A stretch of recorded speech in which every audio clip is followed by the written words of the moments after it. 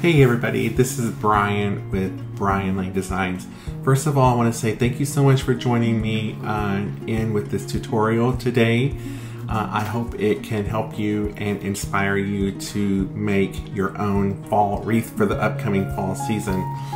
Um, so first of all, I am starting this uh, by making my bow. I am using a one and a half inch um, burlap ribbon for this.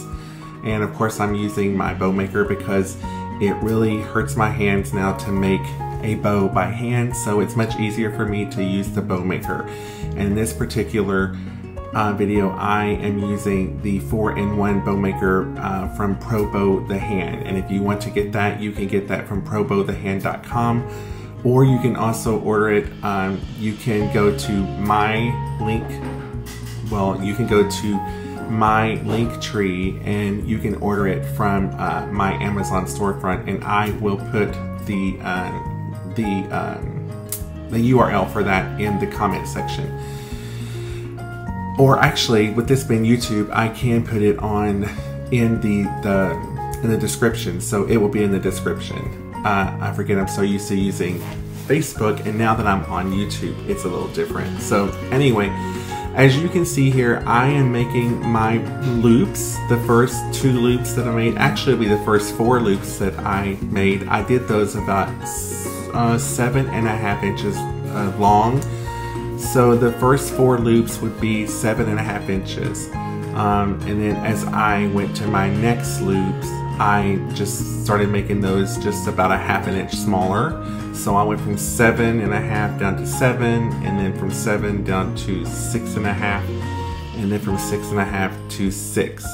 And I think I made, um, I think maybe seven loops, or seven or eight loops on this video. I'm not sure, but I think I ended up using maybe seven.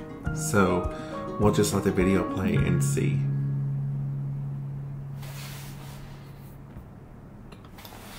Also, uh, I wanted to point out, as you can see, the way that I'm making this particular bow is um, I am just pinching and twisting. Like right here, you can see I bring it over, I lay it down in the, the groove, and then I pinch it and I twist it and push it down. By doing that, it's going to ensure that the, uh, the side that you want to see is going to be the side that's shown. So just remember each time you bring it over to either side, you want to pinch and then twist it. Um, so yeah, it looks like I ended up using eight loops on this. And my tails I made about, I think, 18 inches long.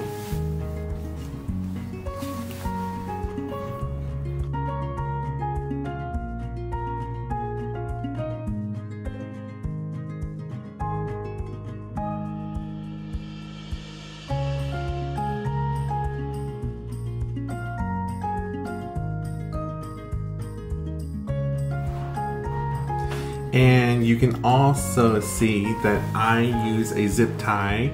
I use two zip ties to, uh, to tie my bow off. Uh, I use one zip tie to close it off and then I use one zip tie that I put through and I will use that particular zip tie in the back to attach it to my wreath. Um, you don't have to use a zip tie, you can use chenille stems, some people call them pipe cleaners, you can use, um, uh, I would re recommend a 26 gauge wire. You can use that. Um, but um, I like on thicker ribbon to use the zip tie. And as you can see right here, I cut my ribbon. The, the, the tail that was coming on the top there, I cut that off so I could put it on the bottom. So I'm just taking that, that tail there and I'm just putting it in the bottom so it will stay on the bottom. Because whenever you are making a bow with the bow maker your last ribbon I mean well your last tail will end up being on the top. And I um, it's a personal preference of mine to just take that and put the tail in the back. I think it hangs better and I think it ends up being a making a prettier bow. And when you are making your bow, it's good to not tie your zip tie as tight as you want it so it can give you uh, a little room to maneuver your loops and to fluff your bow. Um, but uh, I go ahead and just tie it off because I know pretty much I've done this enough that I know pretty much what it's going to do and I can just fluff it on the on the wreath itself. So, but if you um, are more comfortable leaving it a little looser and fluffing your bow before you tighten it up with the zip tie, then you can do that. And right here, I'm just taking my zip tie and sticking it through the frame. And I'm just gonna um, close that off on the grapevine. And then we will fluff it out.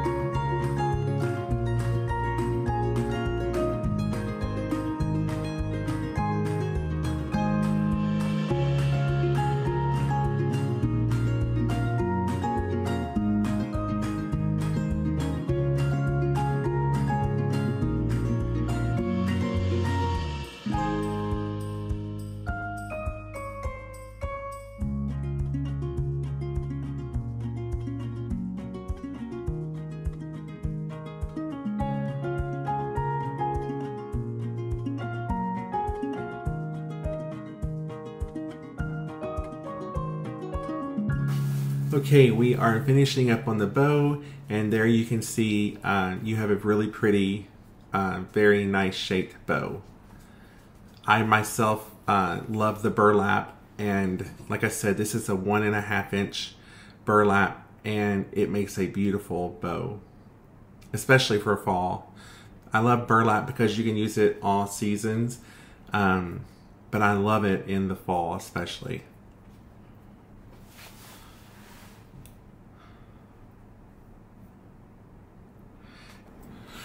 Okay, so the next thing that I am going to do is I'm going to start inserting my uh, base for my wreath, which this particular uh, wreath I use a, a stem called Yarrow. Uh, I typically have this in stock, but it is sold out. I'm trying to get it back in. Uh, it's a really, really popular stem in my store. Um, but yeah, I'm cutting this into three sections and man, I tell you, those stickers, I hate the stickers that come on these things. Um, but anyway, as you can see, I'm cutting this into three sections. And this wreath is a really, really uh, nice beginner's wreath. If you are a beginner, this would be a really nice wreath to start with. Uh, something like this, because there's not a whole lot uh, in it, and um, but still it makes a really beautiful wreath. Uh, so what you want to do is always make sure that you open up and fill out your uh, your picks uh, to make them more lifelike. When they come in the box, they're usually very flat and out of shape. So by opening them up, it gives them life and makes them look a lot more natural. So I just dipped the stem into the glue and I'm putting this in on the top right behind the bow. And uh, that's going to help the bow stay um, uh, fluffed out at the top. And um, and it's also going, when it's finished, it's going to look like the bow is kind of incorporated in with the wreath, not just put in there. Um, it's going to blend in.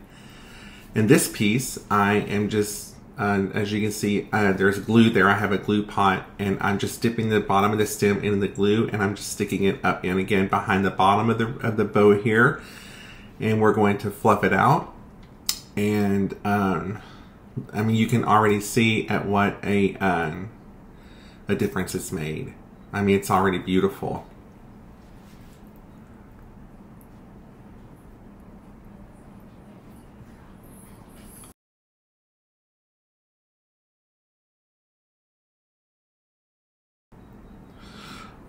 Okay, we're taking the last piece of that particular stem, and again, we're just fluffing it out, and we're going to um, tear a piece of that off uh, to make it, um, to give us two pieces off of that cut, and I'm just going to, I think I'm adding that at the top.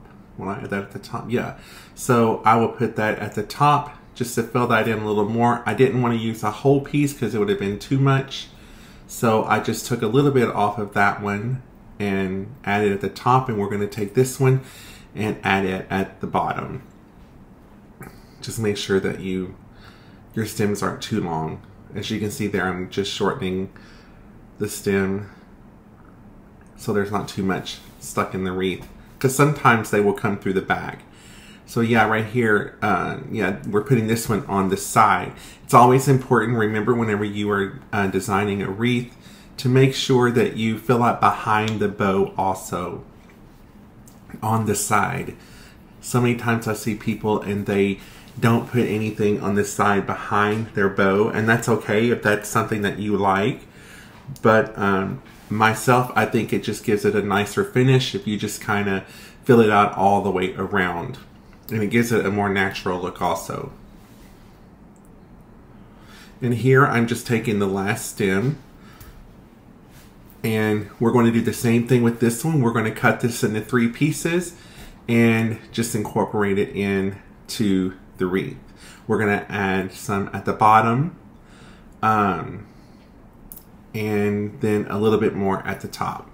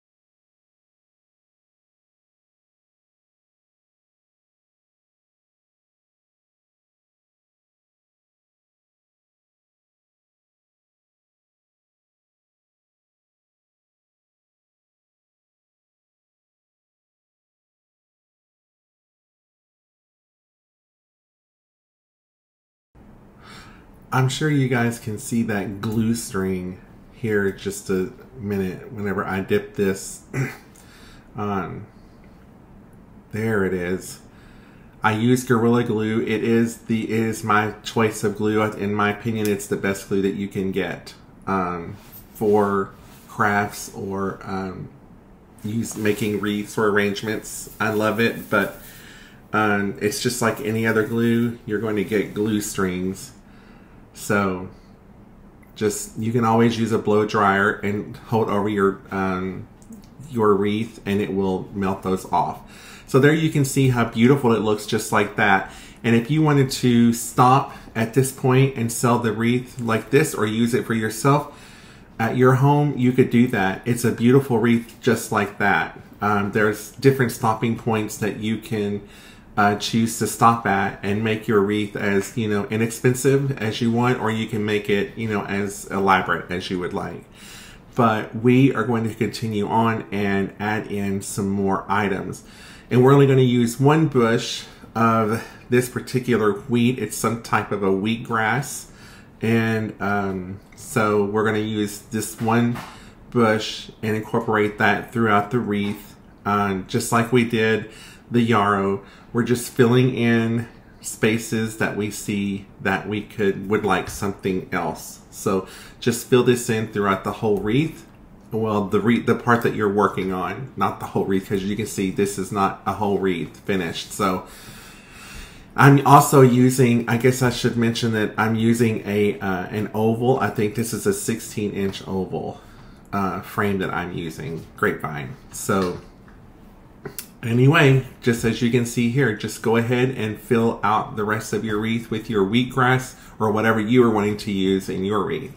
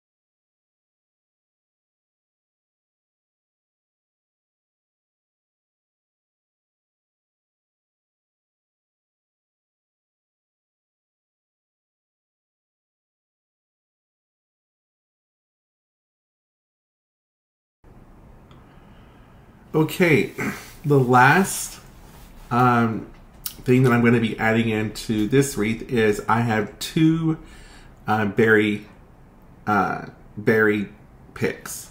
So I'm just going to take this whole uh, pick and um, I'm going to cut off the um, the stems and start inserting them in where I want them.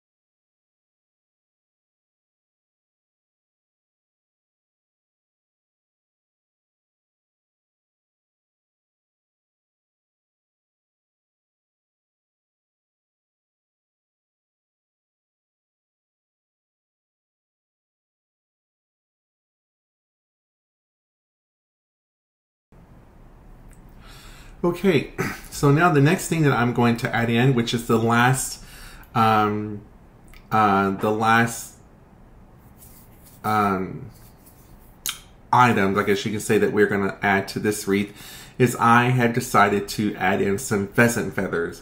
Uh, this is something that I just decided to do last minute. Um, I particularly like it better without them. Uh, I have another wreath that I made exactly like this one that I use uh, that I made and I did not put them in and I like it better, honestly. But some people really like feathers and so I decided to add, uh, to make one with feathers.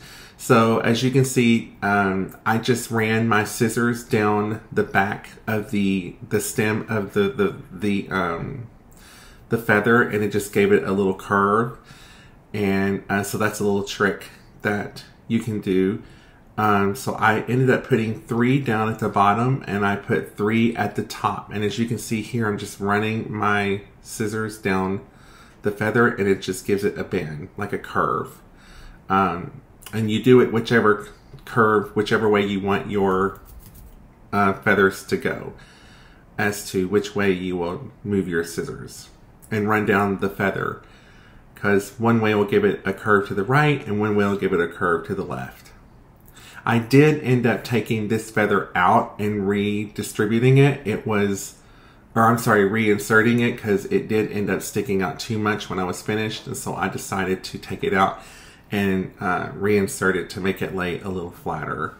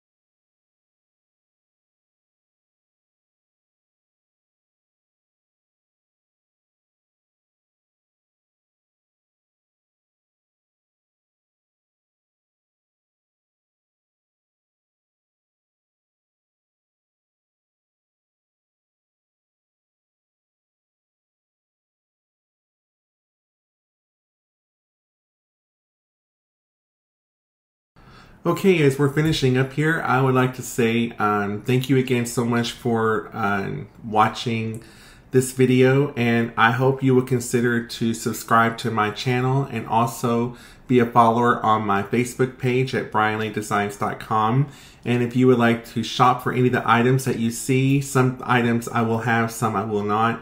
It just depends on what will sell out. Um, my website is brianlanedesigns.com and you can go there and shop. You can also download the app from the Apple Place, uh, from the Apple Store or the Google Play Store. So, um, and I also have live sales every Friday night at 6:30 Central Time, right on my Facebook page on Brian Lane Designs. Okay, as you can see, we are finished up here. And uh, like I said, some people are going to love the feathers, some are going to hate them. Uh, I think it turned out pretty on this wreath, so either way, it's going to make a pretty wreath. Again, thank you so much for watching and have a great evening.